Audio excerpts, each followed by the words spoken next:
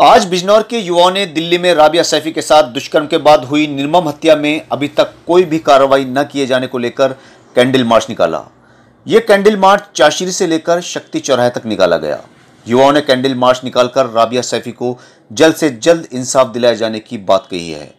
Bijnor chairperson पति शमशाद अंसारी ने media से हुई बातचीत में कहा कि उन्हें अफसोस है कि जिस तरह से निर्भया हत्याकांड में लोग सड़कों पर उतरे थे, उस तरह से राबिया सैफी के मामले को लेकर क्यों लोग खामोश हैं?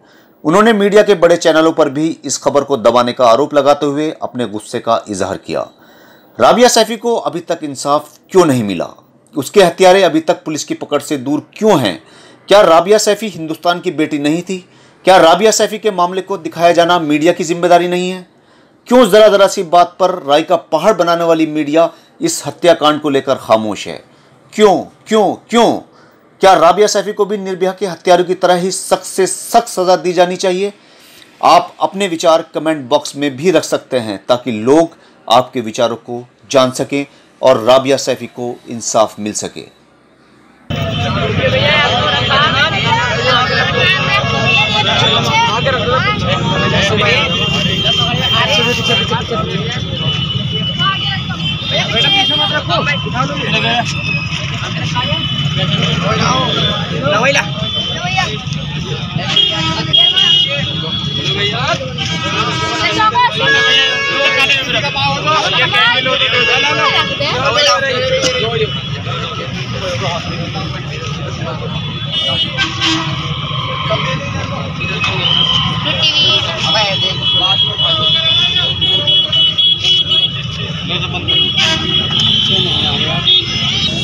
नगर के युवा लड़कों ने, साकिब और उसके साथी सद्दाम भाई, सबके नाम लेना मुनासिब नहीं है क्योंकि भीड़ हो रही है।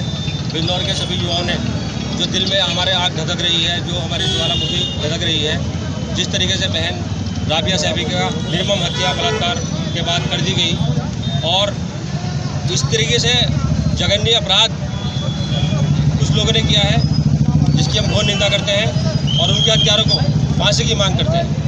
जिस तरीके से बहन निर्भया के लिए इस सरकार ने, देश ने, केंद्र सरकार ने, राज्य सरकार ने आवाज़ उठाई थी।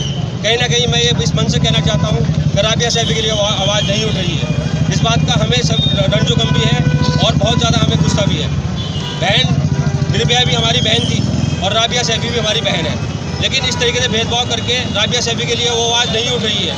सोशल मीडिया के ज़रिए सिर्फ़ दिखाया जा रहा है। बड़े चैनल इस घटना को नहीं दिखा रहे हैं। हम इसकी घोर निंदा करते हैं और राज्य सरकार और केंद्र सरकार से मांग करते हैं कि बहन राबिया सैफी के हत्यारों को जल्द से फांसी दी जाए और उनके खिलाफ जितनी कड़ी से कड़ी कार्रवाई हो, वो होकर बहन राबिया सैफी को इंसाफ मिले। धन्यवाद।